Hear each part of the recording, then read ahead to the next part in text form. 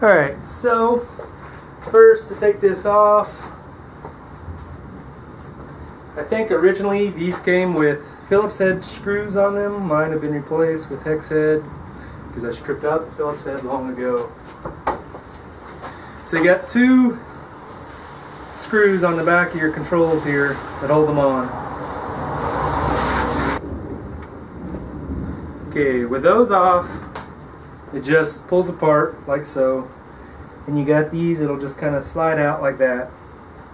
So now that you got it apart here, the next easiest thing to do is right on the back of your brake, you have the little two connectors for your brake light. Unplug those and now you got full access to this bad boy.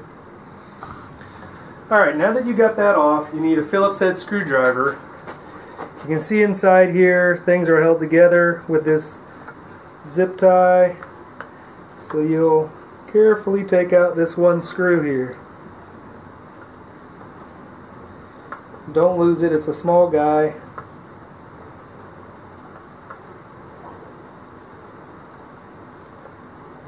So once it's out, you have access to everything. Your wires are loose and you can look at this. You can see there's your start button on the bottom, your emergency kill switch on the top. So that's going to be your kill switch, this is going to be your start button. Now to get this out, it's kind of hard to see, but there's one Phillips head screw right there. Take it out.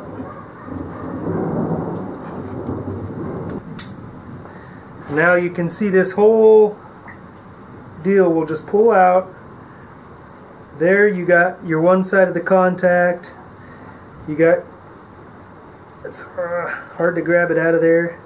You got your spring. The fat end of the spring goes up. So the fat end is going to go into this white piece here like that.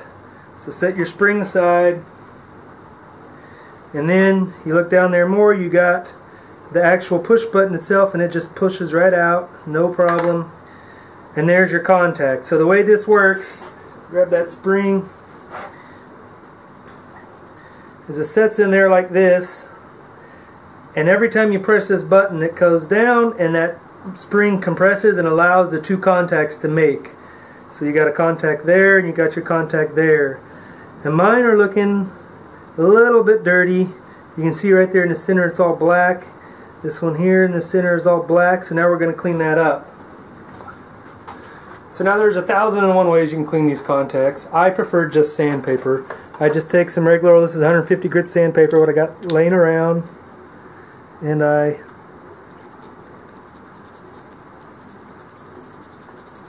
just polish that. Once you get that side done, you'll come over to the button side, same deal. And you're just polishing it, it's nothing, you're not trying to take off a whole abundance of material, just the black junk. So I don't know if you can see that, it's still got some black in the middle.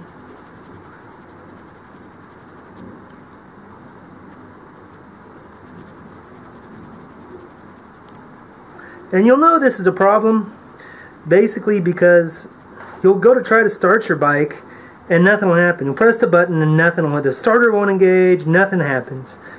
You don't hear the relay click, nothing. And it's one of two things. Either A, you got another safety switch, like you didn't pull your clutch in, your side stands down, something like that. Kill switch is on, you know, some something like that. Or if all that isn't the problem, the problem is your button. And this is, like I said, in 75,000 miles, this is the probably fourth time I've had to clean mine.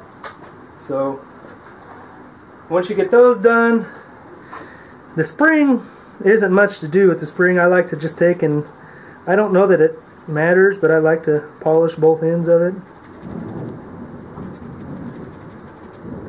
Just a slight polish, nothing, nothing much.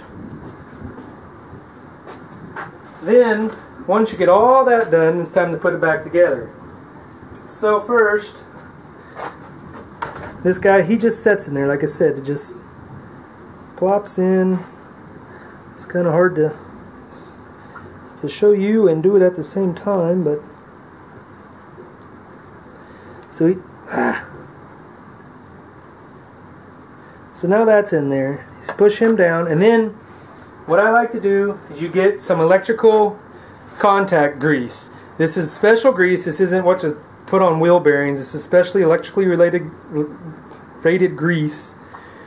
And I usually put it in the spring because it'll mostly stay there. And as soon as you slide this spring down on that black button,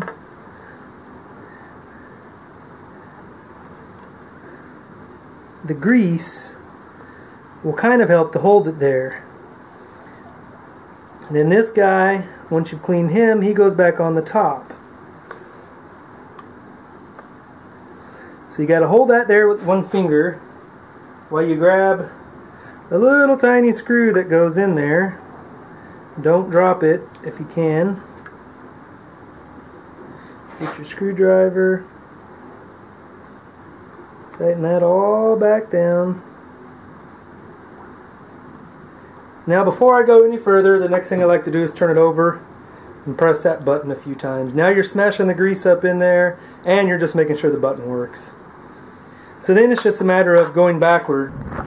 Alright, to put this back together, it's kind of hard to see, but your two wires for the brake will come out the side here while the rest of your bundle of wires comes out the middle.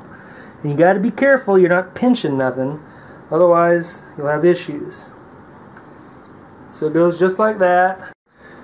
So once you get it all put back together, make sure you're in neutral. If you're in neutral, then you don't have to worry about your clutch switch. If you're in a gear, it will not start unless you have your clutch pulled in.